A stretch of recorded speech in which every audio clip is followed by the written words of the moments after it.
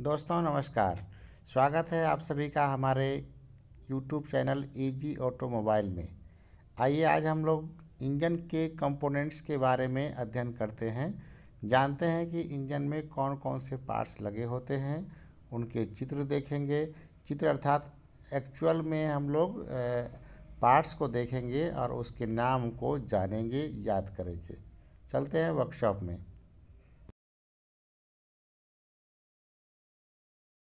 Diesel engine का pump set है ये। पंप सेट चार भाग में खुला है। चार भाग। एक वहाँ पे है कंबस्टन क्या नाम है उसका? ऑयल चैम्बर ऑयल सम्प बोलते हैं उसको। ऑयल चैम्बर या ऑयल सम्प है वो मेन भाग उसका। इसमें क्रैंक शाफ्ट लगता है। क्रैंक शाफ्ट वाला हो गया वो ऑयल सम्प या ऑयल चैम्बर ठीक है। उसके बाद जस्ट उसके ऊपर लगा रहता है ये। इसका नाम है सिलेंडर ब्लॉक। सिलेंडर ब्लॉक के अंदर ही सिलेंडर लाइनर लगा होता है। इसके जस्ट ऊपर ये लगा होता है सिलेंडर हेड। सिलेंडर हेड, ठीक है? इसको बाद इसको बोलते हैं रॉकर आर्म असेंबली। या टैपेट भी बोलते हैं। टैपेट भी बोलते हैं, या रॉकर आर्म असेंबली। ये चार भाग इसके मेनली है। चारों कंपोनेंट्स फिर असेंबल होकर इंजन बन जाता है। ठीक है? तो इसका क्या नाम हुआ? Cylinder block. ये क्या हो गया? सिलेंडर हेड ये? Rocker arm assembly. ठीक है। ये मेन चीज़ होती है। इसके अलावा उधर से उसको उठाइए। हाँ, इसका क्या नाम है? इसका नाम है केम साफ़ केम साफ़ सी ए एम ई केम साफ़ केम साफ़ का जो गियर है वो स्पर गियर है। गियर का प्रकार अगर पूछेगा उसका कैसा गियर है?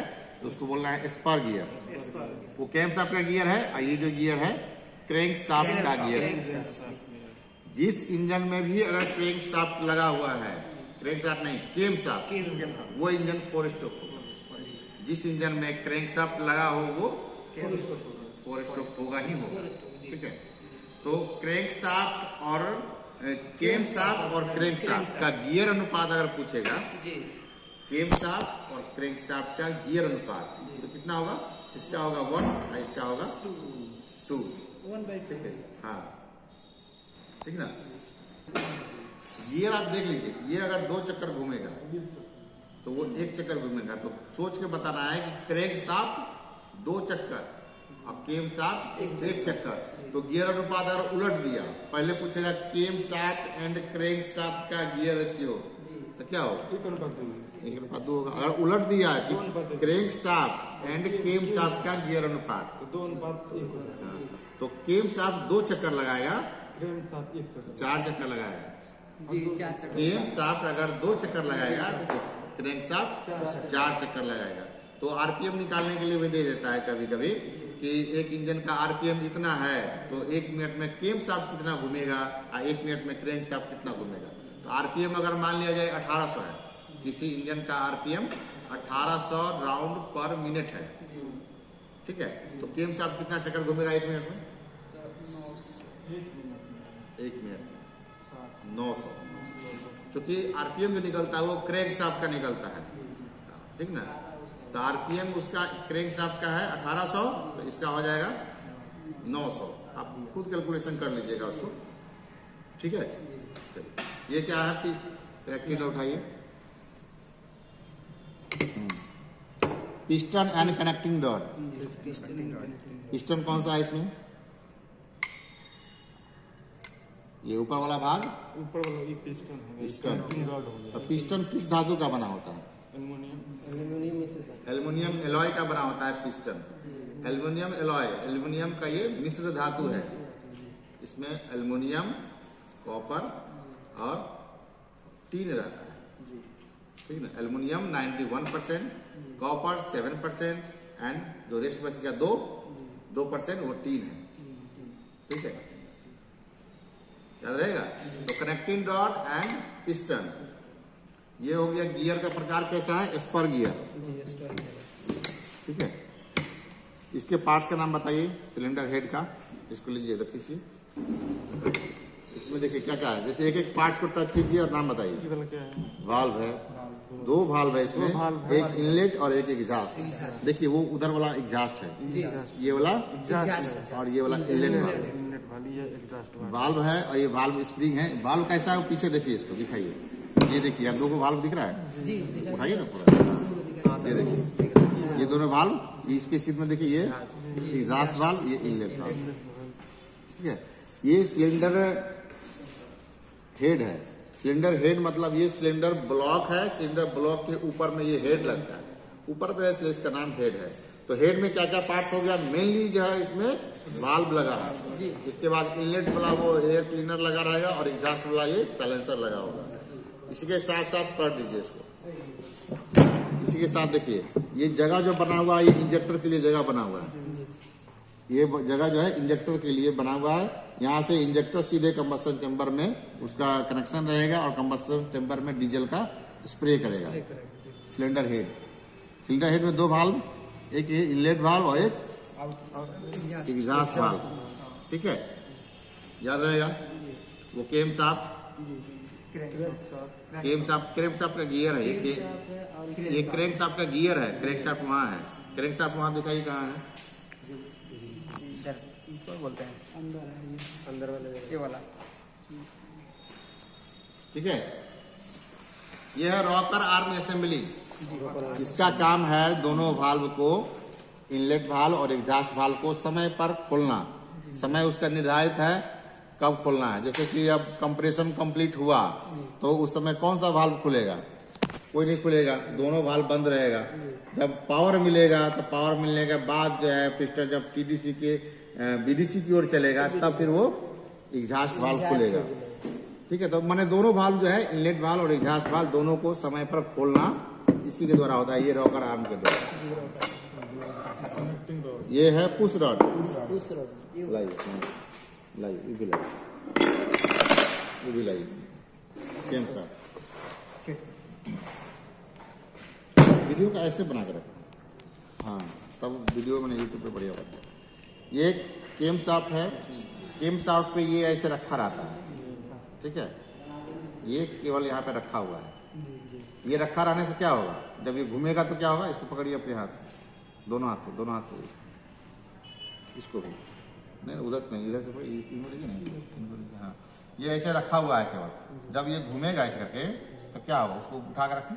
देखिए। नहीं ना उसको उठा के रखिए। वो स्थिर ना है। ये तो इसके साथ घूमने नहीं जाता, ये स्थिर है। ये जब रहेगा जब इसके फोर्सेज ऐसे आएगा तो ये उठ जाएगा। उठ जाएगा। नहीं हाँ ये जब उठेगा इसको सब पकड़िए इसको पकड़िए गिर जाएगा। चलिए यहाँ रखिए रख छोड़िए। जब ये यहाँ पे आएगा तो ये उठ जाएगा। इसी के ऊपर रखा रहता है ये पुश रॉड ठीक है? ये पुश रॉड रखा रहता है। ये उठेगा तो पुश रॉड भी उठेगा? नहीं। और इसके जस्ट ऊपर रखा रहता है ये। इसका जो ये टैपिट रॉकर है रॉकर का ये इस पे लगा रहता है ये ऐसे जब ये उठेगा तो क्या होगा? ये वाला पोर्शन उठेगा ये उठेगा तो ये दबेगा। और ये रखा रहता है यहाँ वाल्व पे लगा रहता है तब ये वाल्व दबेगा। तो इसका इनलेट वाल्व चाहे एग्जास्ट वाल्व जिसको भी दबाएगा वो खुल जाएगा। ठीक है? याद रहेगा इसका नाम पार्ट्स का? पुसरट गाइड पुसरट कहाँ है? पुसरट यहाँ है सिस्टमेटिक ढंग से आप लोग नाम बताइए अब सबका। एक एक करके नाम बताइए तो। बताइए। एक एक लाइन से। हाँ। दूसरा cylinder block. Cylinder block. Cylinder head. Cylinder head. Piston piston connecting rod. हाँ। पिस्टन। क्रैंक्स। क्रैंक शाफ्ट का वो गियर है। क्रैंक शाफ्ट वहाँ लगा हुआ है। और एक केम साहब। Cam shaft push rod guide इसको tapping rocker arm assembly rocker arm assembly assembly ठीक है? और कौन सा चीज़ छूट गया ये छूट गया ये है। Fuel injection pump fuel injection pump इसका जो ये भी ये भी जो रॉकर है ये ये इसमें से टच रहता है। जब ये घूमता है ना ऐसे करके ऐसे करके ये यहाँ पे सेट रहता है ये बीच वाला। इसका ये फ़िल्टर ठीक है? जब ये घूमेगा ये जब घूमता है तो फिर इसको दबाता है। इसको दबाने से ये पंप करता है इसमें। और ये फ्यूल इंजेक्शन पंप डीजल का इस, आता है इसमें और डीजल जो है यहाँ पे हाई प्रेशर से इंजेक्टर को भेजता है। ठीक है? ये फ्यूल इंजेक्शन पंप है। क्या रहेगा सबको? सब बताइए आप लोग सब। क्या है? हम्म। रॉकर आर्म है। हम्म, क्रैम सॉफ्ट साफ़। सॉफ्ट फ्यूल इंजेक्शन है ये फ्यूल इंजेक्शन पंप ठीक है ये फ़िल्टर है। फ़िल्टर है। हाँ आगे उधर। क्या नाम है?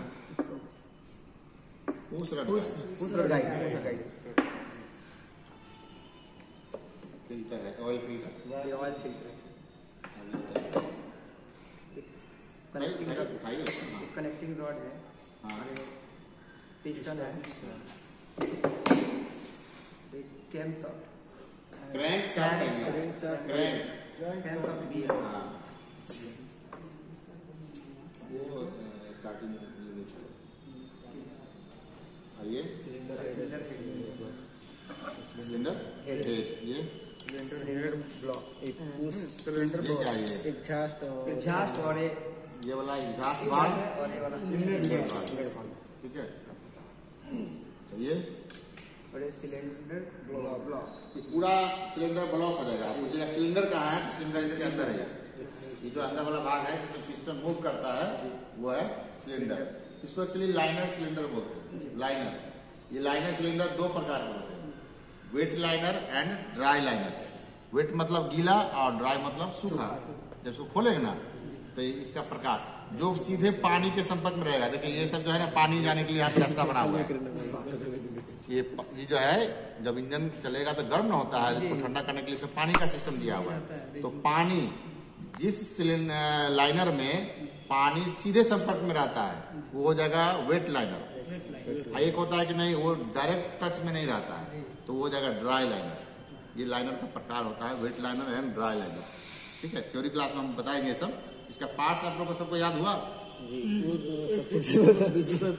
फ्यूल इंजेक्शन पंप ये rocker arm rocker arm assembly arm arm assembly arm assembly ठीक है? ये। ऑयल फ़िल्टर ऑयल फ़िल्टर है ये. Fuel injection fuel injection pump piston हाँ. पिस्टन कनेक्टिंग रॉड कैम साथ गियर हाँ उधर से बताना लो इसको कैम साथ गियर एक तो इसको ये बताओ इसको हाँ। कैम साथ गियर हाँ ये? पिस्टन सिलेंडर हेड हाँ। Cylinder block cylinder block inlet valve कहाँ है? इनलेट वाल्व ये है। इनलेट वाल्व इधर ये है एग्जिस्ट वाल्व ये है। ये ये है।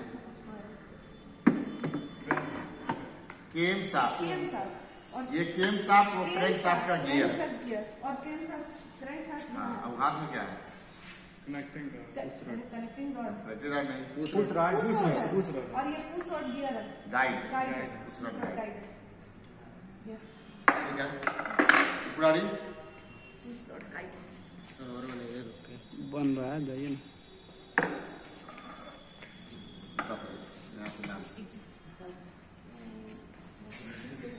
Rocker arm assembly rocker arm assembly हाँ। इसका fuel injection pipe pump pump ये पाइप नहीं है फ्यूल इंजेक्शन फ्यूल फ़िल्टर उसके बाद पिस्टन पिस्टन हाँ।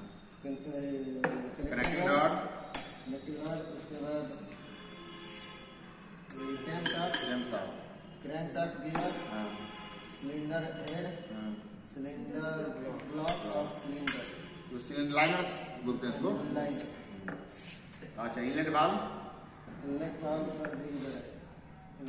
की है। ये एग्जॉस्ट वाल्व ठीक है। दूसरा गाइड कहाँ है? दूसरा गाइड यहाँ पर है सर दूसरा गाइड दूसरा? दूसरा ठीक है। अब इसको सेट कर लेना है। असेंबल कर देना है इसको। ठीक है?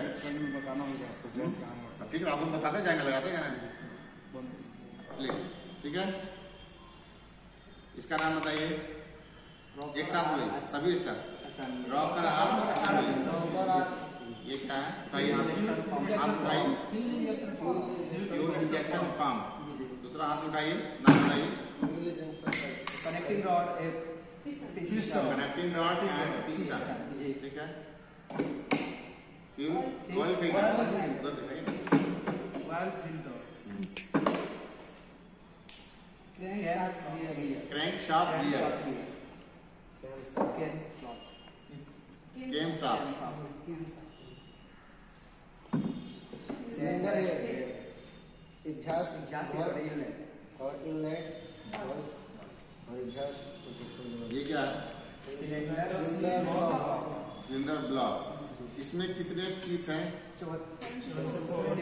इसमें 74 माने केम शाफ्ट में 74 टीथ और क्रैंक शाफ्ट के गियर में 37 तो दोनों का गियर अनुपात वो कितना चक्कर घूमेगा? वो दो चक्कर घूमेगा एक एक चक्कर घूमेगा। ठीक है? और ये फोर स्ट्रोक इंजन में ही लगा रहता है। टू स्ट्रोक इंजन में ये लगा हुआ नहीं रहेगा। याद रहेगा ना इतना? सबको संभल किया जाए? चलिए, संभल करते हैं। ठीक है?